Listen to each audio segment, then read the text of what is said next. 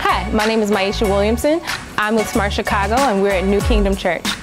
And I have my wonderful instructors with me, Mr. Javier, and a substitute we have, Mr. Carrington, and we have Miss Sheena at this location as well. So she's not here today, but in the morning we feed the students breakfast and afterwards we work on technology.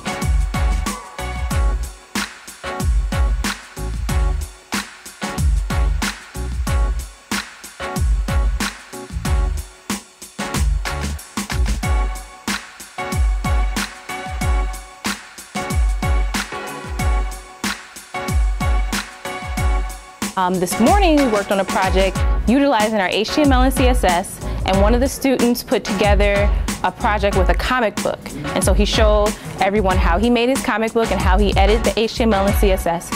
So we are just really hoping that they learn these skills and they'll take it into the future and it will help them get jobs in their careers and really increase their learning potential.